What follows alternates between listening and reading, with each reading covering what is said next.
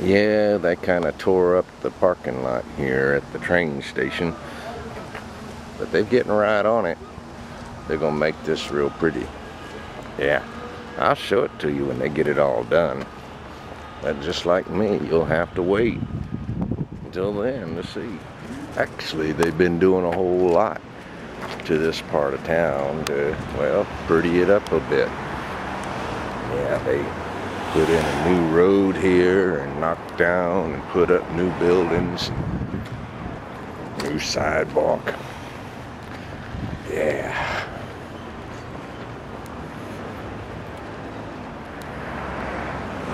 I'm walking home from the train station. Beautiful day. Yeah, the train station's right that away. Yeah. And well, about a 30, 40 minute walk. Unless I walk real slow.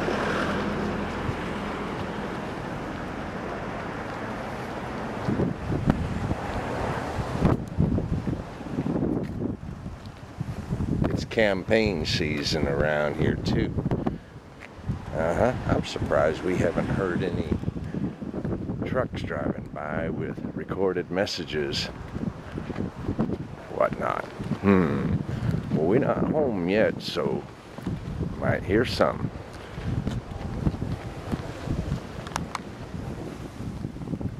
It only takes me about two and a half to three hours to get to Seoul. And I've got some friends there, and sometimes it's worth the trip to have lunch or dinner with friends that I've met since I've been here. And that's about all I did this weekend. Just meet up with some friends and, yep, lunch here, dinner there. And I, I'm always able to find cheap accommodations that are, well, in my opinion, well worth the price. Anyway, it's Sunday afternoon and I'm already getting near home. No, that's not a campaign speech. These trucks like this are popular. Sometimes it's just tangerines that are on sale. Yeah.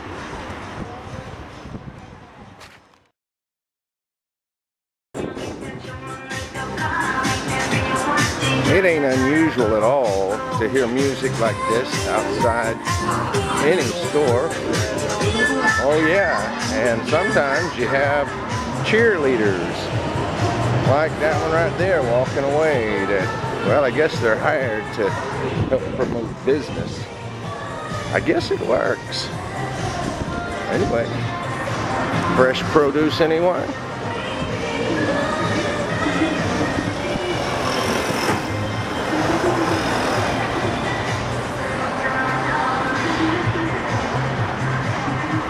See that red cross there? See the Korean letters? That's pronounced yak. Yeah, it means pharmacy. Mm-hmm.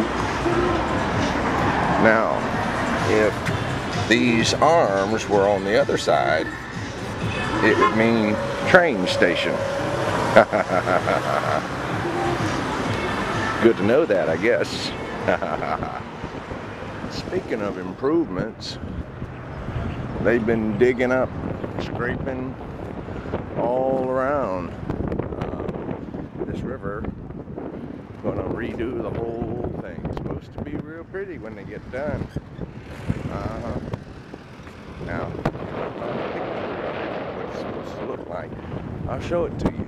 But if not, you might have to wait as long as I do. A little bit longer. See what that is. But anyway, it's a cool wind. Yeah, it's not cold, cold, yeah, cold. About five o'clock in the afternoon, Sunday afternoon. Mm-hmm. Yeah.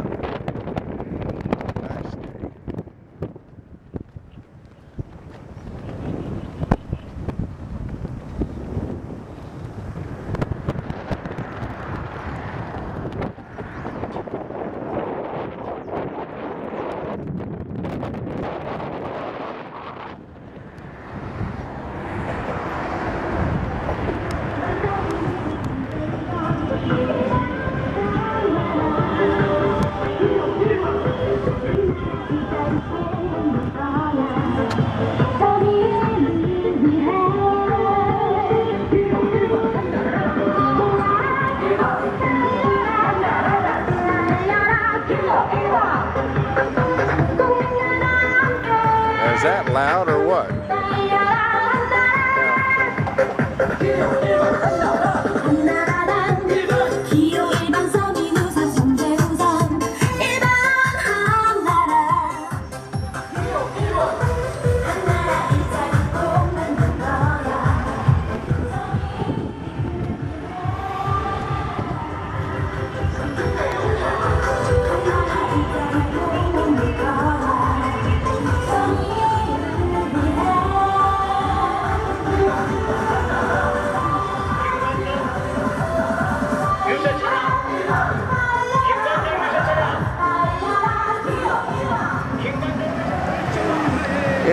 election day is coming up in about three days.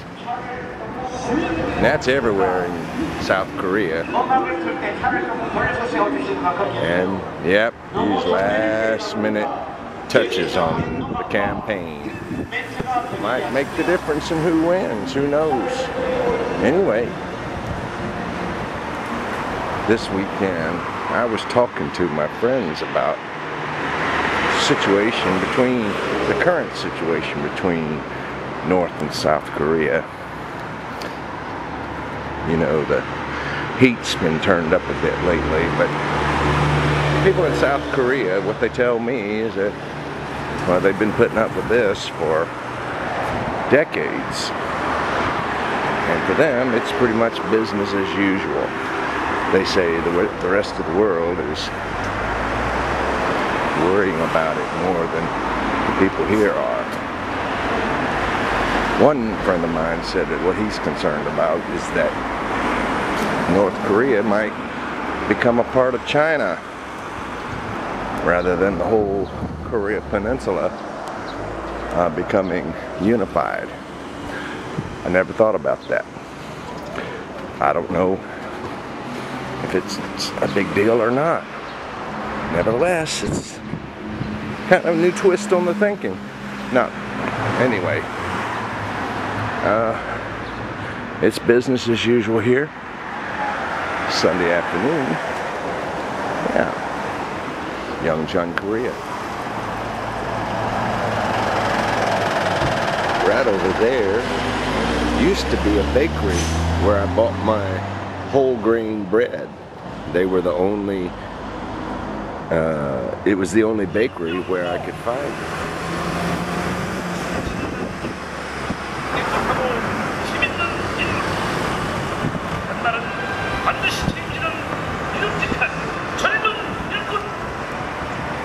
That guy right there, owner of that truck, has parked his vehicle in a bad spot. And those ladies there in the uniform, well, they've taken a picture of this and yeah. But you know what? Now and then they blow a whistle real loud. And they blow it for a long time and give whoever owns the thing a little time to move their vehicle. I'd call that an act of kindness.